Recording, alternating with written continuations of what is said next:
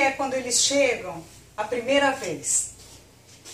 A primeira vez é tudo muito fofo, né? Na primeira vez, porque eles não sabem o que está acontecendo, o que, que ambiente é esse, que cheiros são esses. Então eles ficam acuados, eles dão mais possibilidades da gente poder manuseá-los. E a primeira vez normalmente é filhote, então é muito fofo. Quando já é um cão adulto, aí cabe a cada um de nós, o profissional que vai manusear esse animal, é, respeitar as limitações deles, porque cada animal tem uma limitação. Uns não gostam que manipule na pata, outros não gostam que manipule no rosto, na orelha. Então nós temos que é, sentir, é, observar e respeitar as limitações para a gente poder conseguir trabalhar com esse animal da melhor forma possível.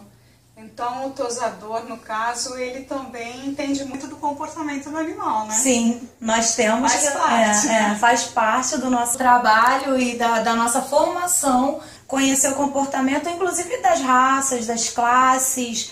Das, de, de, cada raça, cada classe tem um comportamento que já é específico, que ele carrega geneticamente. Então, não é uma via de regra, mas a gente sabe que os terriers são mais agressivos, então a gente já trabalha com um resguardo maior, a gente já sabe que os shih são mais calmos, tranquilos, que gostam mais de deitar, então a gente já, quando a gente pega num cãozinho, a gente já tem um espírito preparado para ele. Pode ser que aquilo tome uma outra, uma outra mão, mas a, a, grande, a grande maioria segue um comportamento, um padrão de comportamento. Então, então, a gente lidar com cada um de acordo com esse comportamento.